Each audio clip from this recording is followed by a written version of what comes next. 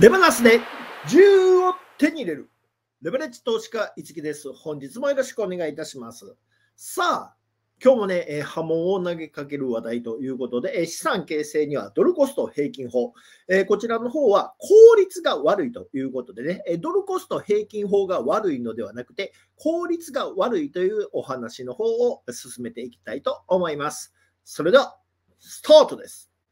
ボッボッ僕らは逆イールド観察隊。いつになったら解消するのでしょう。この大逆イールドと、えー、目下アメリカ史上最大の、ねえ、長さの逆イールドに育っております。この逆イールド、解消するのは今年の後半、もしくは来年以降ということがね、濃厚になってきておりますので、まだまだね、続いていくよ、逆イールド。となると株価は上昇していくのかというところなんですけれど、逆イールドの性質上、逆イールド解消までは株価が上昇、逆イールド解消後、株価が下落となっております。さあ、今回の逆イールドが解消して株価が下落になるかどうか、それは誰にもわかりません。ただし、コルバン先の杖、メンバーシップの方を立ち上げて、逆イールド後のね、下落が来ても慌てない資産形成を今、メンバーシップ会員さんと共に活動中です。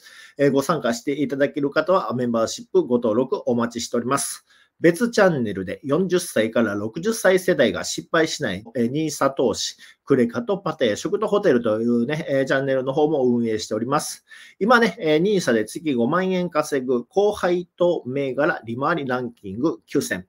こちらのね、中からあタコ足になっているものはないのかなどをね、しっかりと確認していこうというね、動画の方を出しております。説明欄に URL を貼っておきますのでね、ご確認のほどもお待ちしております。正しい知識、レバレッジ ETF 商品の分配金の原資、えこちらは、え短期公社債やコールローンを組み入れて、レバレッジ ETF っていうのは運営されております。そこで発生する利息、それがレバレッジ ETF の分配金になります。これじゃないと、え2倍のレバレッジをかけているんであれば、2倍に到達しなかったときに、そのね、え到達しなかった分がえ分配金として払われているんじゃないかとおっしゃられている方がいるんですけれども、それだと、そのね、2倍に到達しなかった時お金が余るということなんでしょうかというね、えことになってきまして、え原資なきとこから、え分配金というのはね、払えませんということになりますので、まあ、原資がどこから出てるのか、利息から出てる、だから払えるんだと私は認識しております。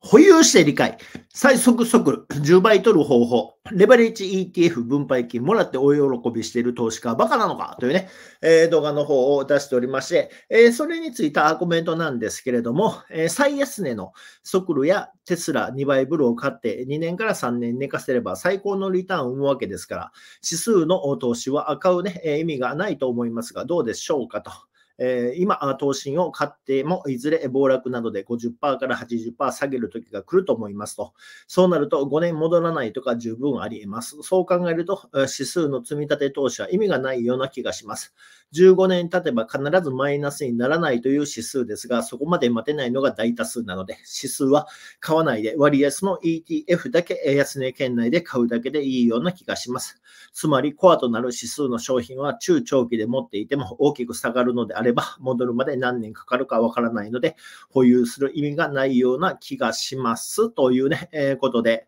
まあ、こちらの方のね、えー、お答えをしていきたいなと思ったわけなんですよね。まあ、まずね、えー、多分ここで言うてる投信というのは、まあ、S&P500 とか全米株式とかファングプラスとか、えー、2244とかね、まあ、そのあたりのこと、もしくはレバナスのことなのかなというふうにね、えー、思ってます。まあ、80%下げるのはレバナスぐらいかなと思いますけれども、まあ、結果ね、えー、下がっていくというね、えがあって、まあ、あの、えスタートするタイミングの話になってくるんですけれど、ドルコスト平均法っていつ始めてもいいというふうに言われてますけれど、私はそうは思わないんですよね。自分が狙ってる商品が安値圏内にいているところからドルコスト平均法を使ってえ積み立てしていくのであれば、いざ知らずというね、えー、ことになっていきますので、まずね、え私がね、何を考えて、え投資をしていくのが一番効率がいいのかということをね、え考えていきますと、1月1、投資信託っていうのは円の資産というふうに考えております。えそして、ソクルなどの、え海外 ETF ですよね、え特にアメリカの、え株式ということで考えていきますと、ドルの資産ということに、ね、なっておりますので、結果、投資信託であったとしても、アメリカの ETF であったとしても、まあ、安くなっていれば購入していくんだというね、えー、ことですよね。え高い時になんで購入するんだというところがね、まあ、非常に問題になってくるわけですよ。これを言っていくとね、いや、時間効率でいつがね、高くて、いつがね、低いかわからない。えだからね、毎月購入していくんだという声がね、どこからともなく聞こえてくるんですけどけれど、いやいや、ちょっと待ってくださいよと。え私が狙っている商品、投資信託であったとしても、アメリカの ETF であったとしても、今安くなっている商品、高くなっている商品ってあるわけですよね。わざわざ高くなっている商品をドルコストで平均、ドルコスト平均法で買う必要は全くないんじゃないかと。安くなっている商品をドルコスト平均法で買っていけばいいんじゃないかというふうにね、考えていくわけですよ。そして、五木の考えにと、投資信託であろうが、まあ、ETF 商品であろうが、何でもいいんですけどね、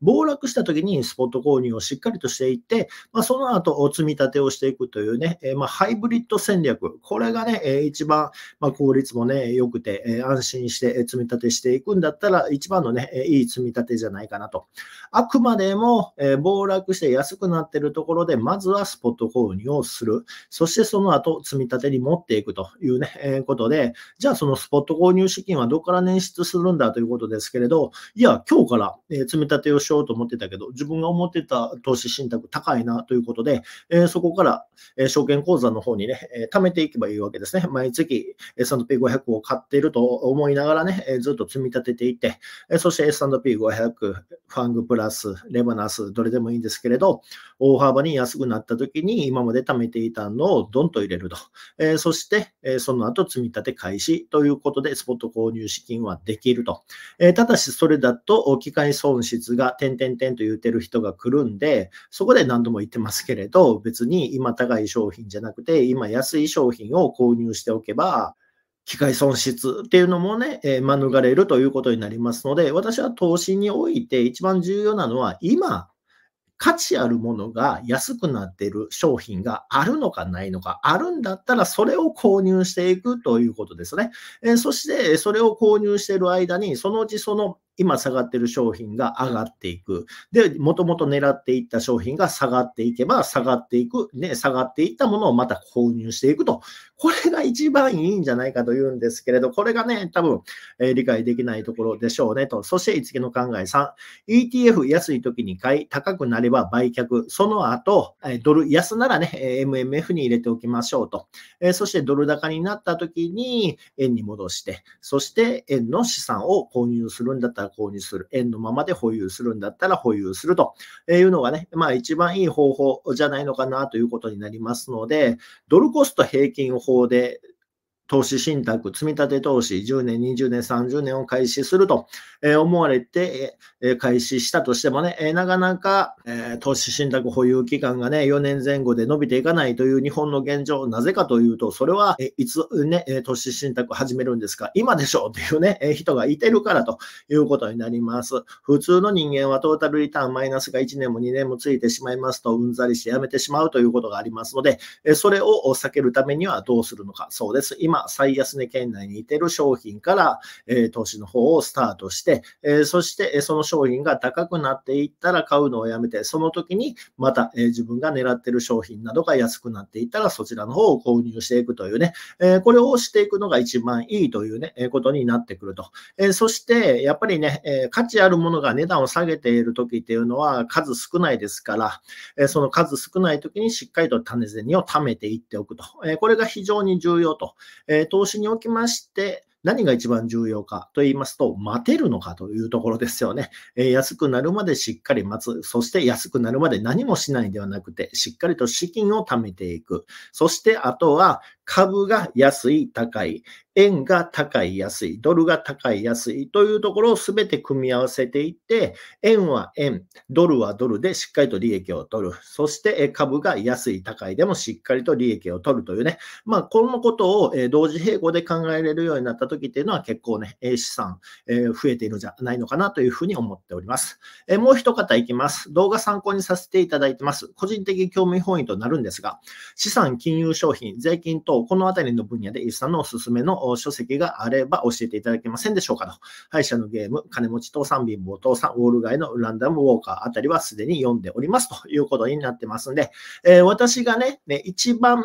心を打たれたのは、ぶねえボロ物件でも氷回り、激安アパート経営、入居率95%を誇る非常識なノウハウ、加藤博之さんということでね、えこちら、え私が一番感銘を受けた商品になっておりますので、説明欄にリンクを貼っておきますので、見ていただきたいと。不動産投資の、ね、本になりまして、私のバイブルということになってます。もうボロボロですよね。そらそうです。2007年に購入した本になっているということなんで、2007年に購入した本でもこちらの方で資産を形成していく。え不動産っていうのはね、やっぱり切っても切れないと思うんですよね。ある程度、え株の方で資産を形成していったんであれば、え日本の不動産っていうのをね、持っておくのはね、すごくね、有利に立ち回っていけるというところがね、まあありますので、まあ、これをね、見ていただいて、キャッシュで不動産というのは買えるんだと。そして、不動産というのはね、定価で購入してはダメだなどというところが、盛りだくさんにね、え書いておりますし、そしてね、えできればアパート経営ではなくてね、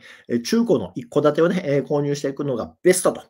いうことに、なります。で、この考え方を結構ね、えー、不動産から株式の方にね、うん、ちょっとチェンジしていくということもね、まあ、できますので、まあ、まだね、えー、こちらの方を見られていないのであれば、まあ、不動産経営というのがね、どういうものなのか、そして、えー、普段言われていた、これ革命的な本なんですよね。今まで不動産というのはね、いかに銀行からお金を引っ張って購入していくのかというね、本ばっかりだったんですけれど、これですよ。キャッシュで購入していくというね、もうすざましいね、本になっておりますのでね、まあ、こちらの方を参考にしていただければと思います。最後までご視聴ありがとうございました。また次の動画でお会いしましょう。お待ちしております。